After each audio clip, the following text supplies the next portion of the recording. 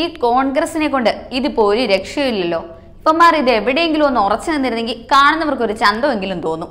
ഇത് ആദ്യം ഒന്ന് പറയും പിന്നെ അത് മാറ്റി പറയും.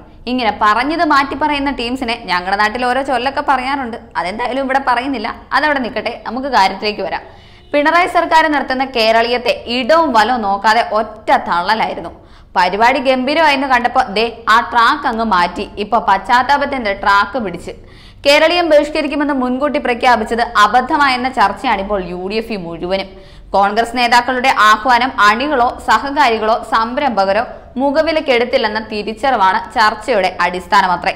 അല്ലേലും കോൺഗ്രസ് പാർട്ടി സംവിധാനം തന്നെ അങ്ങനെയാണല്ലോ. നേതാക്കൾ ഒന്ന് പറയും അണികൾ ഒന്ന് തീരുമാനിക്കും. അതുമാത്രോ അവിടെ എല്ലാവരും നേതാക്കളല്ലയോ? U D F M L എമാരിൽ പലരും പല രീതിയിൽ പരിപാടിയുമായി സഹകരിക്കുന്നുണ്ടെന്നാണ് കേട്ടറിവ്.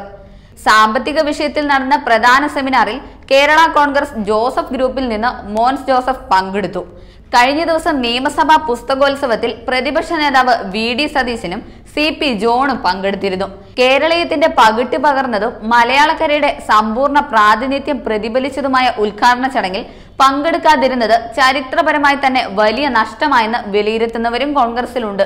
മമ്മൂട്ടിയും മോഹൻലാലും ശോഭനയും മലയാളത്തിന്റെ കഥാകാരണവർ ടി പത്മനാഭനും പ്രമുഖ വ്യവസായികളുമടക്കം അണിനിരന്നതായിരുന്നു ചടങ്ങ്. ഏതെങ്കിലും രാഷ്ട്രീയ പക്ഷപാതിത്വമില്ലാതെ കേരളത്തിന്റെ സൗഹാർദ്ദ ജീവിതത്തിന്റെ പ്രതിനിധാനമായിരുന്നു ആ വേദി. മാധ്യമങ്ങളിൽ നിറഞ്ഞ ആ ചടങ്ങിൽ പ്രതിപക്ഷ നേതാക്കളുടെ അസാന്നിധ്യം ഏറ്റവും ശ്രദ്ധിക്കപ്പെട്ടു. നമ്മളും ഉണ്ടാകേണ്ടതായിരുന്നുവെന്നാണ് ഇപ്പോൾ പലരും പ്രതികരിക്കുന്നത്. പ്രധാന ഘടകകക്ഷിയായ ലീഗ് നേതാക്കളടക്കം ബഹിഷ്കരണത്തിൽ സംശയാലുക്കളാണ്. മുമ്പ് യു ഡി എഫ് സർക്കാരുമായി സഹകരിച്ചവരടക്കം ഒട്ടേറെ വിദഗ്ധർ പങ്കെടുക്കുന്നുമുണ്ട്.